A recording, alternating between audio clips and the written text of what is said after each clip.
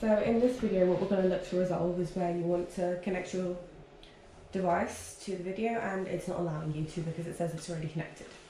So what we do here, we go onto the screen, right click, menu, configuration, network, then platform access.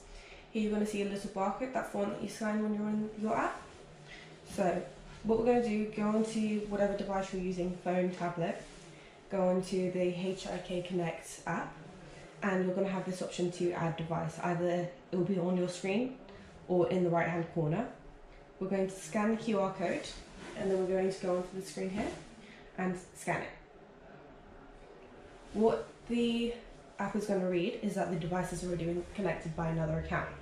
So what you're going to do, you need to unbind the device. So in order to do this, you have to be connected to the same network as the device itself. It's going to ask you for the passwords. So enter in your password. Then the capture code. And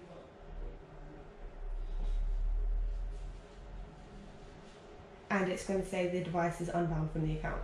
Then what you're going to do, you're going to go back onto add device, scan QR code, and you can now add the device and it's accessible to you whenever you need.